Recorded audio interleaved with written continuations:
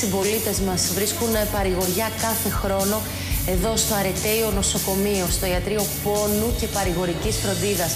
Εμπνεύστρια και διευθύντριά του, η καθηγήτρια Αθηνά Βαδαλούκα.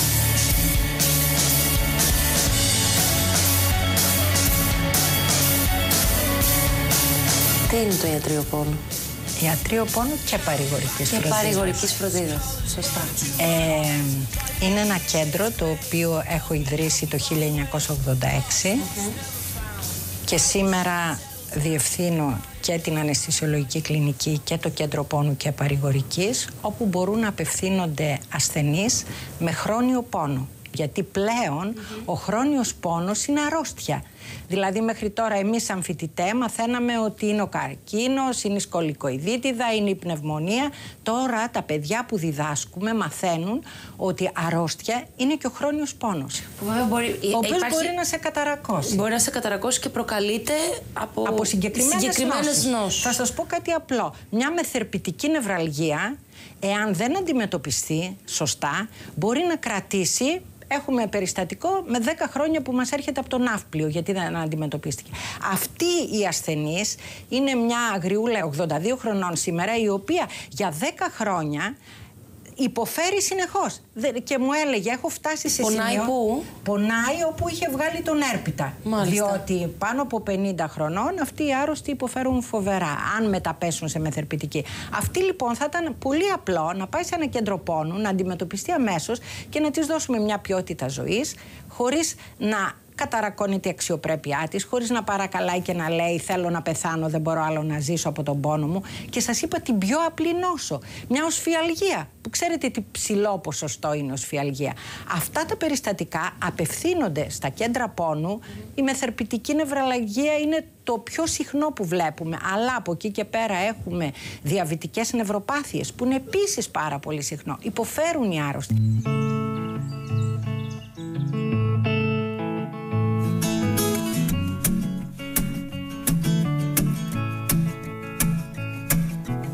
Εδώ στο Ιατρείο Πόνου εφαρμόζουμε το βελονισμό για την ακούφιση των ασθενών Snowflakes, burnt lungs, sour taste. Νιώθω πάρα πολύ μεγάλη βελτίωση. Ε, δεν έχει καμία σχέση ο πόνος με τον αρχικό. Struggling to pay rent, long nights, strange men. And they say she's in the class A team, stuck in her daydream. Been this way Τις προσπάθειες αυτές τις κάνουν εθελοντικά, δεν πληρώνονται από πουθενά. since slowly sinking, wasting, crumbling like pastries. And they Ένα κέντρο πόνου παρέχει μια, θα έλεγα, ολιστική ε, Ακριβώς. θεραπεία, μια ολιστική υποστήριξη στον ε, ασθενή. Εκτός από τα εξειδικευμένα κέντρα πόνου, ο αναισθησιολόγος, ο οποίος έχει ειδικευθεί στην αντιμετώπιση του πόνου. Ο αναισθησιολόγος όμως, ένας γιατρός μόνος του δεν μπορεί να κάνει τίποτε. Εάν δεν έχει δίπλα του άλλες ιατρικές δι- ε, ειδικότητες που θα καλέσει όταν τις χρειαστεί, Όπως; αλλά και τον χειρουργό, τον ογκολόγο, τον ακτινοθεραπευτή, αλλά και οι α, ανθρώπους οι οποίοι δουλεύουν καθημερινά στο κέντρο πόνου, που είναι οι συνεργάτες, οι κύριοι συνεργάτες, που είναι ο ψυχολόγος, ο νοσηλευτής, ο άνθρωπος που κάνει σιάτσου, ο άνθρωπος που κάνει ρεφλεξολογία, αυτός που κάνει βελονισμό, ακόμη μπορούμε να προσθέσουμε μουσικοθεραπεία. Δηλαδή είναι το κομμάτι της ιατρικής πλαισιωμένο από εναλλακτικές μεθόδους. Οι εναλλακτικές μέθοδοι βοηθάνε τον ασθενή. Από ό,τι Έχετε- έχουμε βρει στο κέντρο μας, πραγματικά υπάρχουν πάρα πολλοί ασθενείς που βοηθιόνται. Αυτό όμως που θα πρέπει να ξέρουμε είναι μην περιμένει κάποιος, α, εγώ πάω, κάνω σιάτσου και απαλλάσσουμε από τον πόνο, κάνω βελονισμό και απαλλάσσουμε από τον πόνο. Αυτό θα πρέπει να γίνει εκτίμηση πρώτα από τον γιατρό και εκείνος θα κατευθύνει, γιατί συνήθως, όπως είπατε σωστά, είναι πολύ παραγωγική η προσέγγιση.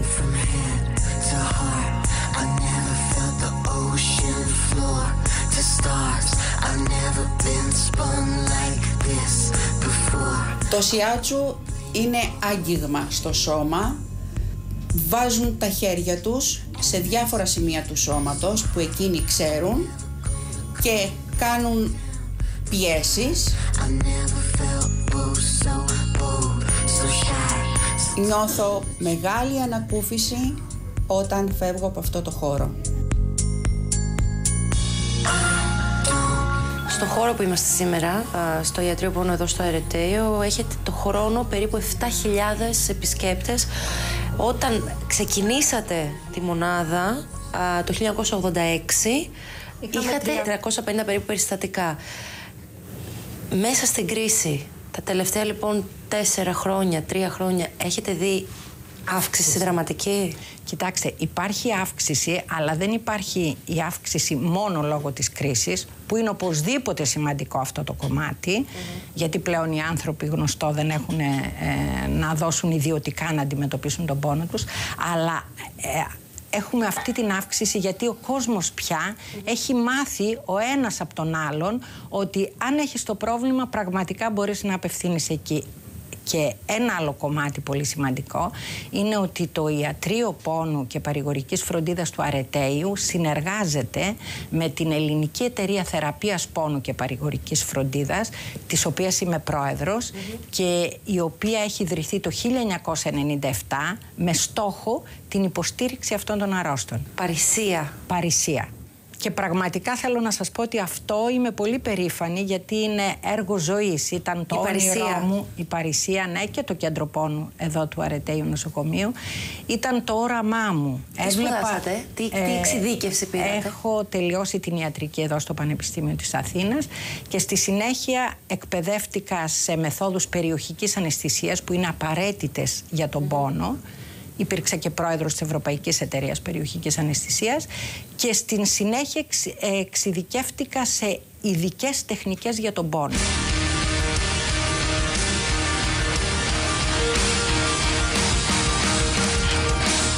Εγώ έχω καρκίνο του προστάτη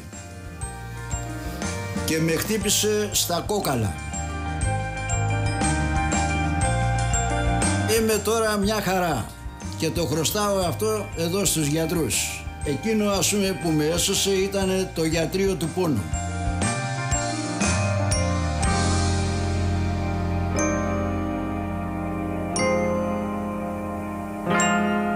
Καρκινοπαθείς και εσείς ε, έχετε... Και εγώ είχα την εμπειρία. Ξέρετε, κάποιες φορές έρχεται, έρχεται στη ζωή μας στιγμή όπου αναγκάζεσαι να μπεις στο αντίθετο στρατόπεδο. Ενώ είσαι εκεί και είσαι ο χαρούμενος, ο ξέγνιαστος, ο υγιής, σου λένε ότι έχεις καρκίνο. Ε, φυσικά καταλαβαίνετε ότι είναι ένας μεγάλος κλονισμός γιατί κυρίως ζούσα με αυτούς τους ανθρώπους και είχα πάρει ομολογώ από τη δύναμή τους και αυτό μου έδωσε δύναμη και είπα και πάλι εδώ θα, ξα... θα συνεχίσουμε με τον καρκίνο, με τη μαστεκτομή και προχωράμε. Και είμαι δίπλα σε αυτούς τους ανθρώπους και αυτό μου δίνει ακόμη πιο πολύ δύναμη να τους στηρίξω και Λυπάμαι ακόμη πιο πολύ σήμερα που αυτοί οι άνθρωποι βασανίζονται, δεν παίρνουν τα χάπια τους, είναι υποχρεωμένοι να πληρώνουν συμμετοχή για τα φάρμακα, ενώ υποτίθεται ότι έχουν το 0%. Επί της ουσίας όμως δεν το έχουν το 0%. Επί της ουσίας όταν υπάρχουν φάρμακα τα οποία δεν είναι γενώσιμα και τα οποία είναι απαραίτητα για την ανακούφιση του πόνου τους, αυτά τα άτομα πρέπει να πληρώνουν. και Άρα έρχονται λοιπόν και κλαίνε. να ξεκαθαρίσουμε ότι πολλά από τα φάρμακα που αναγκάζεστε ε, Να να, δώσουμε γράφετε για να- τη να- σωστή για τη σωστή αντιμετώπιση αντιμετώπιση του του πόνου, ε, δεν είναι γενώσιμα, οπότε στα μη γενώσιμα πρέπει να έχει Πληρώνω συμμετοχή. Μάλιστα. ε, παρότι ο είναι κάθε καρκινοπαθής, ασφαλισμένος, όπως εγώ. παρότι είναι εγώ το καρκινοπαθής. φάρμακό μου, το οποίο δεν είναι γενώσιμο και το οποίο είναι και για τον καρκίνο μου, πληρώνω συμμετοχή. Αλλά πέρα από αυτό θέλω να σας πω ότι αυτοί οι άνθρωποι που τους έτυχε η ατυχία να έχουν καρκίνο, θα έπρεπε να αντιμετωπίζονται από το κράτος, κατ' εμέ, με πάρα πολύ ευαισθησία και με πάρα πολύ αγάπη. Και δεν μπορούν να τους στερούν δυνατότητα μιας ποιότητας ζωής.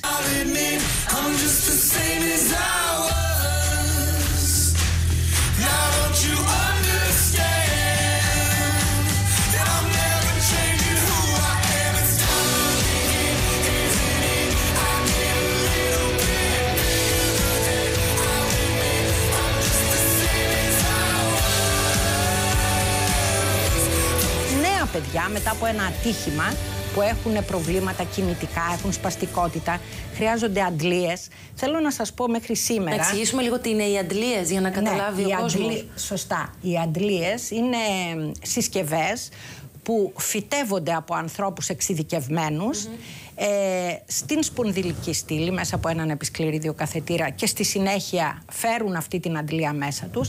Αυτά τα άτομα μπορεί να μην μπορούν να περπατήσουν και να τους βάλεις στην αντλία και να μπορούν να περπατήσουν. Όχι καρκινοπαθείς, μιλάω νέα παιδιά Άρα είναι που έχουν. ζωτικής σημασίας. Ζωτικής, για τη ζωή τους. Και πόσο ζωτικής. κοστίζει μια τέτοια αντλία; Ε, εξαρτάται από 10 με 14.000. Αυτές τις αντλίες τις εγκρίνει το κεσί όταν κάνεις μια αίτηση. Όμως δυστυχώς, σας μιλάω για το αρετέιο νοσοκομείο, βρισκόμαστε σε τέτοια κατάσταση που αναγκαστήκαμε να κλείσουμε έναν θάλαμο και οι άρρωστοι αθρίζονται στην ουρά για να κάνουν χειρουργία, διότι δεν έχουμε νοσηλευτές. Ακούμε συνέχεια υποσχέσεις θα πάρουν. Τις αντλίες τώρα καταργήσανε. Δεν μπορώ να τις βάλω. Γιατί Εδώ που είναι το δεν μπορεί δημόσιο να καλύψει το νοσοκομείο. Διότι το νοσοκομείο δεν έχει λεφτά να πάρει την αντλία και στη συνέχεια να περιμένει να του την πληρώσει το κεσί. Ο καρκινοπαθής τελικού σταδίου θέλει να είναι στο σπίτι του. Να περάσει ήρεμα τις τελευταίες στιγμές στο σπίτι του. Αυτή τη δυνατότητα πρέπει να έχει κάποιον να τον υποστηρίξει στο σπίτι για τα φάρμακα που παίρνει, για οτιδήποτε. Πρέπει λοιπόν να έχουμε μια κατοίκο νοσηλεία. Just above the dirt road. They were hungry as winter, hungry as us, not afraid to be flying, not afraid to Όταν be lost. ο Έλληνας πολίτης ακούει τη λέξη γιατρός, ε, γίνονται συνειρμοί ε, με τη λέξη φακελάκι. Ναι, αυτό που το λέτε μας το λένε οι άρρωστοι ότι για πρώτη φορά ερχόμαστε σε δημόσιο νοσοκομείο και έχουμε αυτή την α, αντιμετώπιση. Διότι για να ασχοληθείς με τον πόνο και την παρηγορική φροντίδα πρέπει είναι και ένα θέμα φιλοσοφίας προσέγγισης. Πώς θα υποστηρίξεις τον άνθρωπο που πεθαίνει αν εσύ πρώτος δεν έχεις ξεπεράσει το θάνατο. Άρα λοιπόν πρέπει να ανήκεις να είσαι άνθρωπος ο οποίος τα έχεις δουλέψει αυτά μέσα σου και γι' αυτό οι άνθρωποι το καταλαβαίνουν και λένε δεν περάσαμε από δημόσιο νοσοκομείο να βρούμε τέτοια ομάδα. Έχουν ανάγκη το γέλιο μας, το χάδι μας, την ανακούφιση από τον πόνο, τις ειδικές τεχνικές, αλλά όλοι οι άνθρωποι που έρχονται να δουλέψουν εθελοντικά δεν γνωρίζουν τι σημαίνει φακελάκι.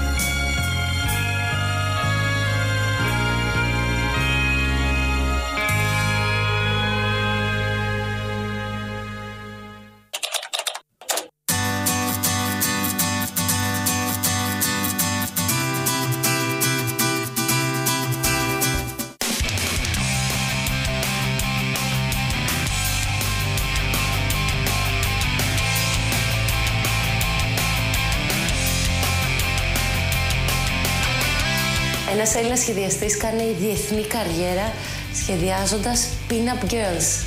Ηλίας Χατζούδης.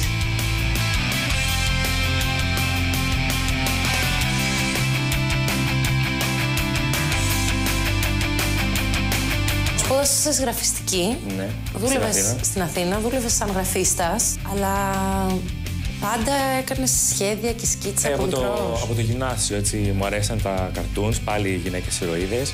Ε, θυμάμαι στο γυμνάσιο, ε, είχα δει τότε την Jessica Rabbit και την είχα σχεδιάσει στο τοίχο δίπλα μου, ώστε να είναι μαζί μου, ας πούμε.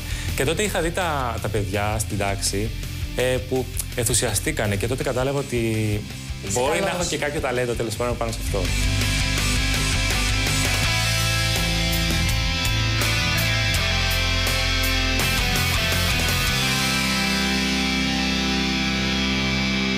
Είχα δει μια δουλειά ενός Αμερικάνου σχεδιαστή σε ένα περιοδικό ελληνικό, το οποίο δεν υπάρχει δυστυχώς πια.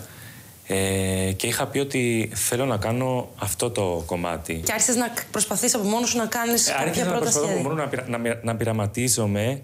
Ε, δεν είχα ξεκαθαρίσει το στυλ μου, δεν είχα αυτό που λέμε τη δικιά μου γραμμή τότε. Αντέγραφα, ας πούμε, τα δικά του σχέδια μέχρι ότου να, να βρω το δικό μου στυλ. Κάνεις εξώφυλλα με pin-up girls, έτσι. Μια αγορά που μου εξήγησε ότι είναι καθαρά αμερικάνικη. Δηλαδή, κυρίως μάλλον αμερικάνικη. κυρίως. Οπότε συνεργάζεσαι, είσαι ένα ατζέντη στην Αμερική, Έχω έναν πολύ καλό Έλληνα ατζέντη στην Αμερική. έναν πολύ καλό Έλληνα ατζέντη στην Αμερική. Ε, Τον οποίο τον γνώρισα όταν ήμουνα στην Καλιφόρνια πέρσι, στο Σαν Ντιέγκο, στο μεγαλύτερο convention που γίνεται.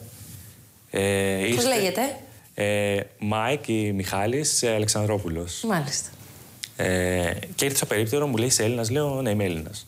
Ε, μου λέει είμαι ο Τάδε, μου το στην κάρτα του, μου λέει είμαι ατζέντης. Ε, αναλαμβάνω σχεδιαστές σαν εσένα, ε, να τους βρίσκω δουλειές και όλα τα σχετικά.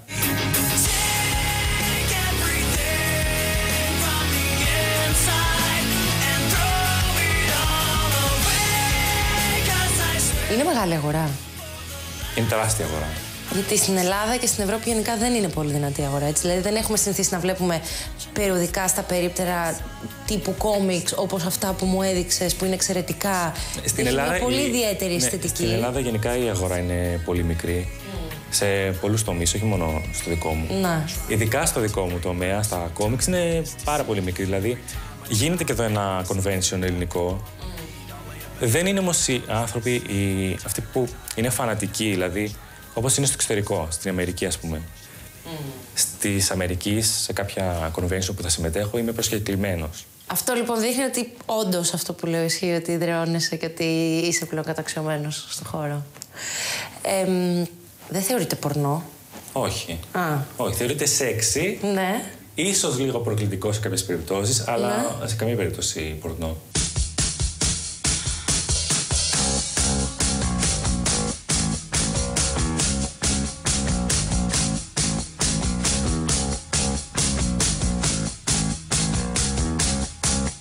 Κοιτώντας τη δουλειά σου, νομίζω τα πιο παλιά σου ήταν λίγο πιο προκλητικά τα πρώτα σου και μετά πήρε μια άλλη μορφή. Ναι, γιατί σε αυτή τη βιομηχανία ε, σταμπάρεσαι και υπάρχουν ε, κάποιοι άνθρωποι, ε, ειδικά στις μεγάλες εταιρείες, όπου τα παρακολουθούν αυτά. Και αν εγώ κάνω την ηρωίδα μιας γνωστής εταιρείας εγινή, δεν πρόκειται να με πάρουν ποτέ. Ναι, Ναι. συνεργάζεσαι με μεγάλη αμερικάνικη εταιρεία. Με ποια; Με την Genescope.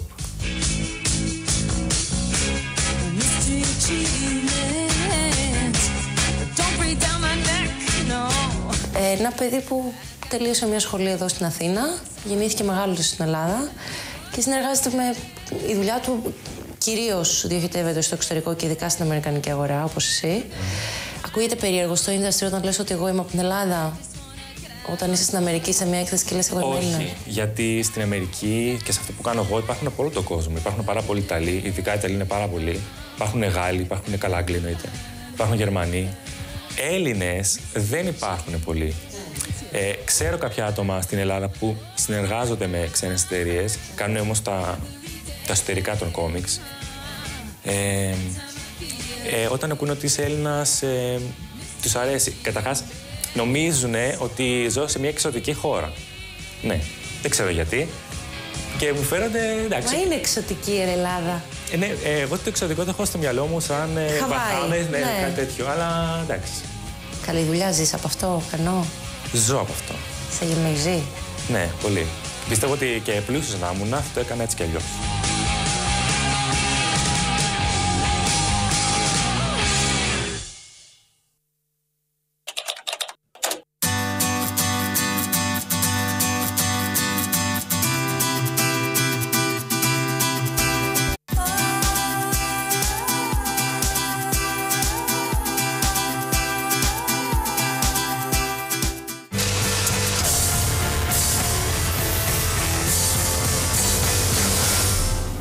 Μια οικογενειακή επιχείρηση 100% ελληνική. Εξάγει σε 65 χώρες. Παράγει 420 προϊόντα το λεπτό. Βασική τους πρώτη ύλη, το βαμβάκι.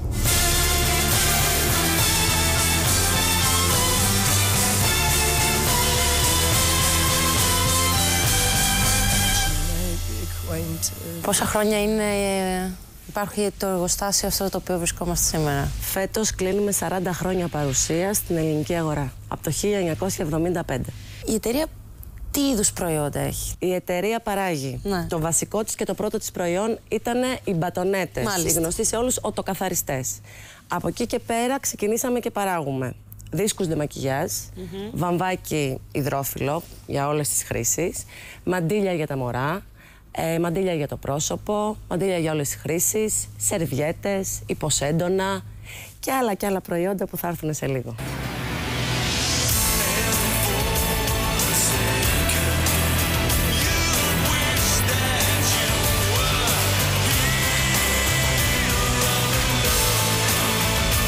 Πολλοί κόσμος δεν γνωρίζει ότι είστε μια ελληνική Ακριβώς. εταιρεία. Ίσως και λόγω του ονόματος δεν ξέρει ότι είμαστε 100% ελληνική εταιρεία. Και ναι, παράγονται όλα στην Ελλάδα. Οι γονείς σου τι κάνανε πριν ασχοληθούν με την ε, Δεν συγκεκριμένη είχαν εταιρεία; καμία σχέση με τη βιομηχανια Προέρχονται και οι δύο από τελείως διαφορετικούς κλάδους. Ο ένας από τον τραπεζικό κλάδο και η μητέρα μου είχε ένα φαρμακείο στο οποίο δούλευε. Ο λόγος που ξεκίνησε η ανάπτυξη εταιρείας, γιατί εκεί είναι τώρα το σημαντικό, είναι ότι το 90 πήγανε κόντρα στο ρεύμα της εποχής, που ήταν εισάγουμε προϊόντα και τα εμπορευόμαστε στην ελληνική αγορά και ξεκινήσανε τις εξαγωγές. Αυτό λοιπόν είναι το πιο σημαντικό για αυτή την εταιρεία, ότι είναι μια εταιρεία που το 1990 έκανε ναι μεν παραγωγή στην Ελλάδα, που είναι κάτι πάρα πολύ σημαντικό, αλλά είχε εξαγωγική ε, δραστηριότητα πολύ έντονη από τα πρώτα της βήματα. Όταν μίλαγα με τον πατέρα σου, μου είπε ότι ε, στην πρώτη έκθεση που πήγα ε, δεν μίλαγα αγγλικά, καλά δεν ήξερα τι να κάνω. Όχι, φαντάζομαι ότι ξεκίνησαν οι εξαγωγές από δύο ανθρώπους που δεν είχαν ιδέα από ξένες γλώσσες. Ναι. Και παίρνανε φίλους τους και πηγαίνανε στις εκθέσεις. και πήγε ο πατέρας μου στην πρώτη έκθεση το 90. Θυμάμαι υπήρχανε- χαρακτηριστικά που μου είπε ότι Κολλάγανε. κολλάγανε είχαν κολλήσει τα βαμβάκια στο περίπτερο και μίλαγε με κάποιους πιθανούς πελάτες και νιώθει τα βαμβάκια να φεύγουν από τη ζέστη και πήγαινε και ακριβώς. τα κόλλαγε. και τα κόλλαγε, ναι.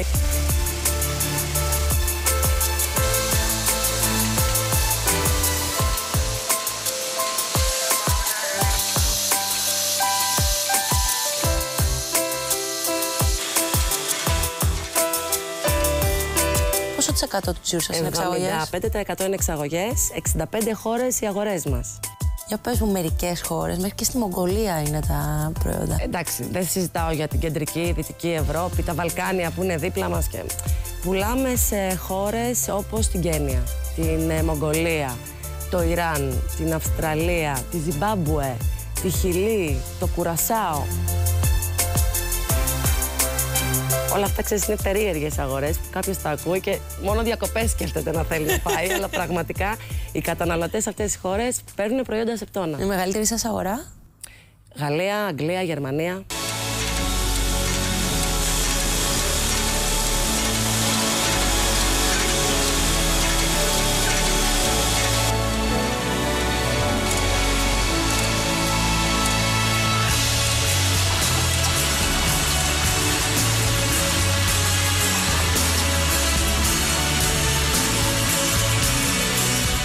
Εν μέσω κρίσης και σε μια πολύ δύσκολη ε, χρονική στιγμή για τη χώρα μας, όχι μόνο συνεχίζετε να παράγετε στην Ελλάδα, επενδύετε κιόλας στην Ελλάδα, μια πολύ μεγάλη επένδυση, 7 εκατομμυρίων. 7 εκατομμυρίων στα ενόφυτα βιωτεία. Ξέρεις, είναι κάποιες αποφάσεις στρατηγικές που παίρνονται σε κέρυες στιγμές που ε, είναι αυτό το οποίο θα ανεβάσει, έτσι όπως το βλέπουμε εμείς, μια εταιρεία. Το 90 ήταν οι εξαγωγές. Φέτος είναι επένδυση στην Ελλάδα. Εμείς πιστεύουμε στην Ελλάδα.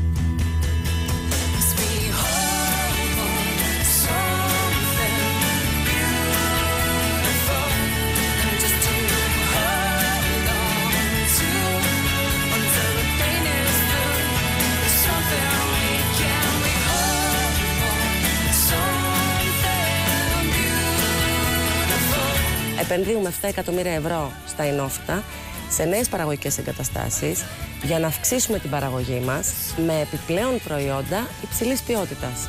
Θα αυξήσουμε τις θέσεις εργασίας και θεωρούμε ότι θα πάμε πολύ πολύ καλύτερα. 2013, δεύτερο εξαγωγή μου προϊόν της χώρας μας. Δεύτερο επώνυμο εξαγωγή Δεύτερο σε όλο τον κόσμο. Ε, Επίσης, πολύ σημαντική βράβευση, ε, τα European Business Awards, όπως λέγονται.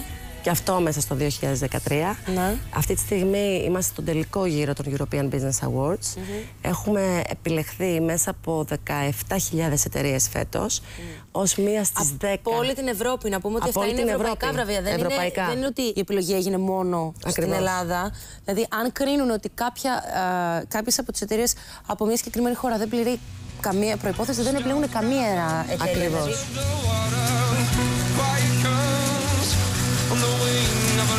Πόσο εργαζόμενου έχει η εταιρεία περίπου, Το group όλο γύρω στους 420 σήμερα. 400. Αλλά δορυφορικά Ναι. είναι περίπου στις χίλιες οικογένειες. Ποιες είναι οι οι πιο έτσι, ουσιαστικές δυσκολίες που ένας επιχειρηματίας σαν και εσένα αντιμετωπίζει στην Ελλάδα του 2014. Το βασικό είναι το κόστος.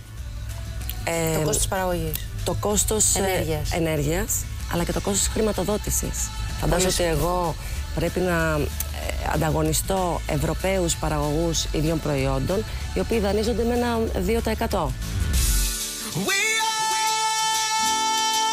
wild. We are like young volcanoes. η καθετοποίηση της παραγωγής, η επένδυση σε συστήματα ποιότητας έχουν καταφέρει να προσπεράσουν το βασικότερο μειονέκτημα, αν θέλεις, που θα μπορούσαμε να είχαμε σαν ελληνική εταιρεία.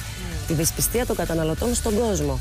Γιατί φαντάσου τώρα, προϊόντα προσωπικής υγιεινής που παράγονται στην Ελλάδα, που η Ελλάδα δεν είναι γνωστή για την, δεν ήταν γνωστή για τη βιομηχανία της, και πηγαίνανε στον Γάλλο καταναλωτή και κοιτούσε Made in Greece και έλεγε ρε παιδιά, εγώ θα πάω να αγοράσω από την Ελλάδα, θα αγοράσω από την Ευρώπη.